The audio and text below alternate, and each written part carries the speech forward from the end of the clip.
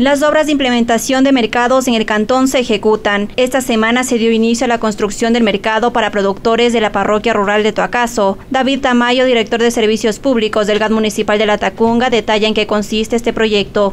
Unas semanas antes hicimos el evento de inicio de obra de un mercado muy importante en la parroquia de Toacaso, con una inversión de 285 mil dólares.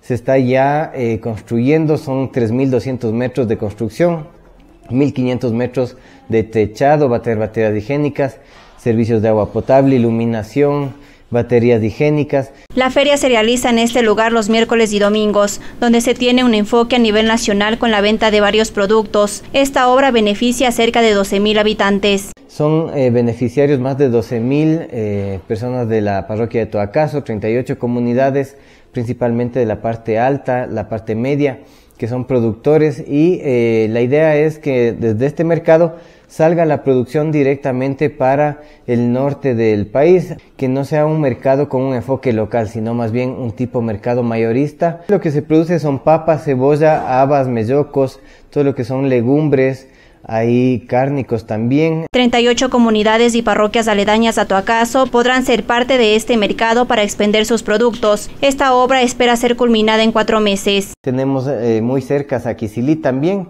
un mercado propicio para el cantón Saquisilí. Tenemos Pastocalle, tenemos Guaitacama, que también son eh, parroquias productoras. No tiene un plazo de cuatro meses, es decir, 120 días. El mercado de Toacaso apenas ha empezado, tiene tal vez un 8 o un 10% de avance. Con 5 hectáreas que comprende esta iniciativa, sistemáticamente se construirá varios mercados y plazas para la venta de productos y animales en pie, mientras que en alrededor de 45 días se espera inaugurar la plaza de Zumbalica en Atacunga.